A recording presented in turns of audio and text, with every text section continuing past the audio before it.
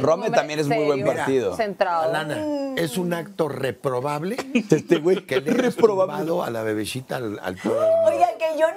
El día de hoy, en la casa de los famosos, Alfredo Dame le da un consejo a Lana, el casarse con Guti, ya que Guti tiene el perfil perfecto como un hombre ideal para una mujer, y Aleska confirma que sí, que Guti tiene ese perfil de hombre para cualquier mujer, y que van muy de la mano, con lo cual Alfredo le menciona que si logra casarse con Guti, pues él le va a heredar a Guti el título de príncipe de telenovelas, con lo cual pues van a conquistarse y que también se ponga en plan de bebecita, que nadie toque a su Guti, que nadie lo mire, pero Alana menciona que no, que ella no tomaría ese plan de estar prácticamente demasiado tóxico por un hombre.